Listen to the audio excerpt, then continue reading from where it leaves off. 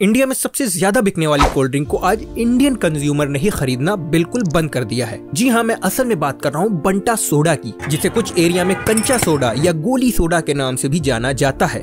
लेकिन एक टाइम पर इतनी नॉस्टैल्जिक और पॉपुलर कोल्ड ड्रिंक, जिसे पूरा 90s का बच्चा बच्चा जानता है, आज इंडिया में लगभग एक्सटिंक्ट हो चुके हैं। तो ऐसा क्या हुआ उस सॉफ्ट ड्रिंक के साथ जो अपने प्रोडक्ट से ज़्यादा अपनी पैकेजिंग यानी अपनी आइकॉनिक कॉड नेक बॉटल जिसके अंदर एक मार्बल होता था, उसके लिए मशहूर थी? जिसकी बोतल को अक्सर हम तोड़कर उसका मार्बल बाहर निकाल लिया करते थे। उसी नॉस्टैल्जिक सॉफ्ट ड्रिंक को अचानक से हर एक इंडियन भूल कैसे गया? और तो और ऐसा कौन सा कनेक्शन था इस सॉफ्ट ड्रिंक के साथ हमारे फ्रीडम फाइटर्स का, जो ब्रिटिशर्स तक को इसे बैंड करना पड़ गया था?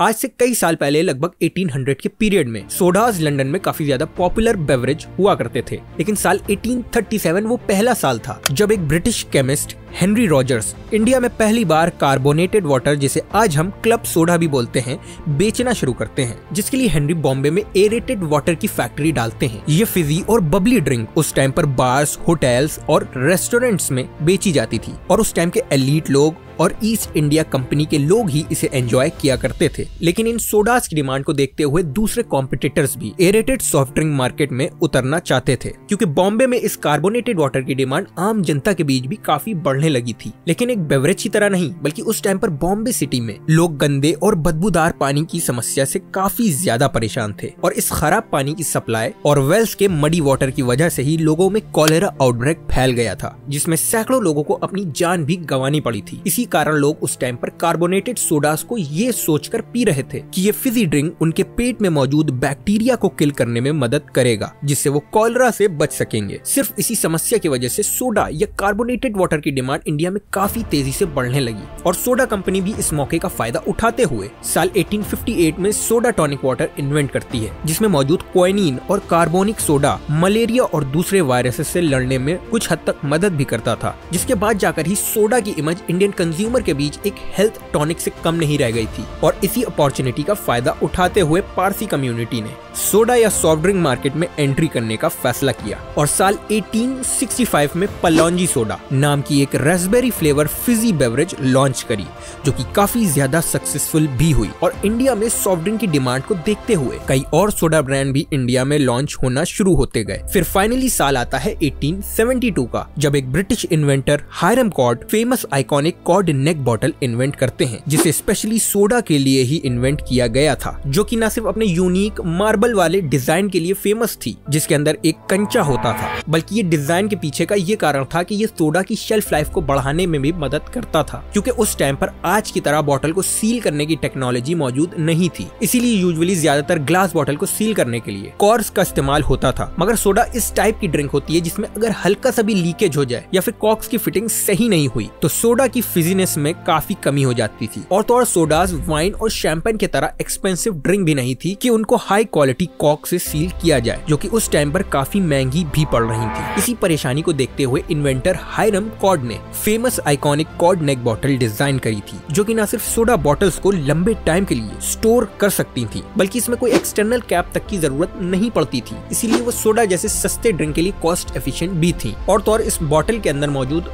मार्बल इसको एक बार खोलने के बाद भी दोबारा से सोडा के प्रेशर की वजह से मार्बल ऊपर आ जाता था, जिससे बॉटल एक बार फिर से सील हो जाती थी। इसीलिए सोडा का टेस्ट बॉटल खोलने के बाद भी वैसे ही मेंटेन रहता था और इसी यूनिक और एफिशिएंट डिज़ाइन की वजह से ही। कॉड नेक बॉटल पूरी दुनिया में काफ़ी फ़ेमस हो गई। और वहीं सोडास की इतनी ज़्यादा पॉपुलैरिटी को देखते हुए इंडियन लोकल स्ट्रीट वेंडर्स ने भी इस कॉड नेक बॉटल का इस्तेमाल करके शिकंजी और दूसरे डिंग को फिजी ट्विस्ट देकर बेचना शुरू किया। और लोकल स्ट्रीट वेंडर्स का ये आइडिया काफ़ी ज़्यादा फ़ेमस भी हुआ और ये बंटा बॉटल पूरे इंडिया भर में बिकना शुरू हो गई, जहाँ इसे अलग अलग जगहों पर अलग अलग नाम से बुलाया जाता था। जैसे की गोली सोडा, बंटा सोडा, कंचे वाली बोतल और तो और कोलकाता में फुटाज झोल के नाम से भी बुलाया जाता था। इन्हीं लोकल फिजी बेवरेजेस की इतनी ज़्यादा डिमांड को देखते हुए, बड़े प्लेयर्स यानी कोका कोला और पेप्सी ने भी एटीन सेंचुरी के एंड आते आते इंडिया में एंट्री ले ली और कुछ ही टाइम के अंदर कोका कोला इंडियन मार्केट में मार्केट लीडर बन गया। मगर इंडियन इंडिपेंडेंस के काफ़ी दशकों बाद इंडियन गवर्नमेंट फेरा यानी foreign exchange regulation act pass करती है, जिसमें कोका कोला जैसे बड़े प्लेयर्स की इंडियन मार्केट में मोनोपली को खत्म करने के लिए उन्हें 40 परसेंट शेयर को डायल्यूट करने और उनके सीक्रेट फॉर्मूला देने की बात करी जाती है, क्योंकि इंडियन गवर्नमेंट को ये मालूम था कि कोका कोला उन्हें अपना सीक्रेट फॉर्मूला बिल्कुल भी नहीं देगी और इसीलिए कोका कोला अपने आप ही इंडियन मार्केट को छोड़ देगी। और ऐसा होता भी है। कोका कोला के इंडियन मार्केट एग्जिट करने के बाद ही जाकर इंडिया में इंडियन कोल्ड ड्रिंक के फ़ेमस ब्रांड, जैसे की कैंपा कोला थम्स अप और माजा जैसे प्रोडक्ट फ़ेमस हो पाए। हालाँकि बाद में कोका कोला की दोबारा एंट्री के बाद इनमें से काफ़ी पॉपुलर इंडियन ब्रांड को कोका कोला ने ही अक्वायर कर लिया।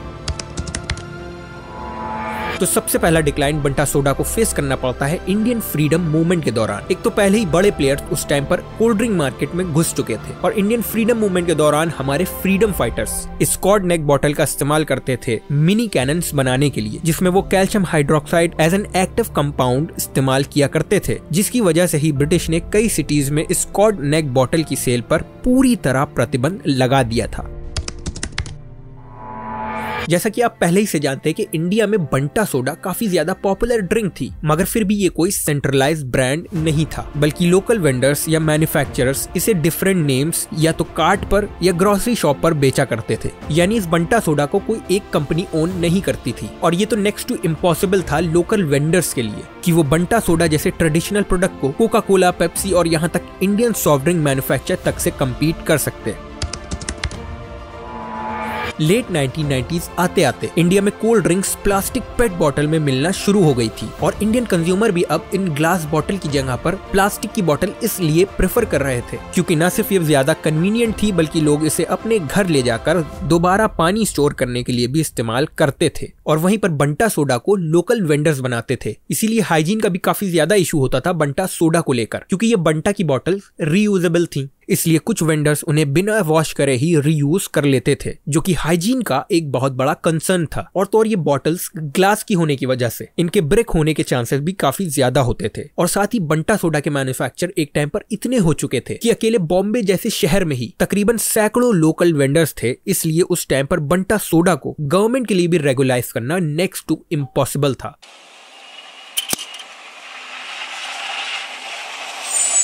मगर आप अगर ये सोच रहे हैं कि ये कॉड नेक बॉटल सिर्फ़ इंडियंस लोगों के लिए ही नॉस्टैल्जिक है तो ऐसा नहीं है। बल्कि दूसरी कंट्री यहाँ तक जापान में भी इस बंटा सोडा को रेम्यून ड्रिंक के नाम से जाना जाता था, जो वहाँ भी काफ़ी फ़ेमस थी। लेकिन भले इतने टफ कंपटीशन के बाद भी इस बंटा सोडा की डिमांड और पॉपुलैरिटी भले ही कम हो चुकी हो, मगर आज भी दिल्ली और दूसरे शहरों में कुछ लोकल वेंडर्स इसे अभी भी बेचते हैं। इसके अलावा हाल ही में कई स्टार्टअप्स भी लॉन्च हुए हैं, जिन्होंने इस नॉस्टैल्जिक ड्रिंक को एक बार फिर से दोबारा से रिवाइव करने का फैसला किया, जैसे कि स्पार्क गोली सोडा जैसे और भी कई सारे ब्रांड बल्कि इस बार फ़र्क यह है की ये ब्रांड ब्रांड न सिर्फ़ फसाए से पूरी तरह अप्रूव्ड हैं, जिसकी सेफ्टी और हाइजीन का ध्यान मैन्युफैक्चर अच्छे से रखते हैं। तो आज के लिए बस इतना ही।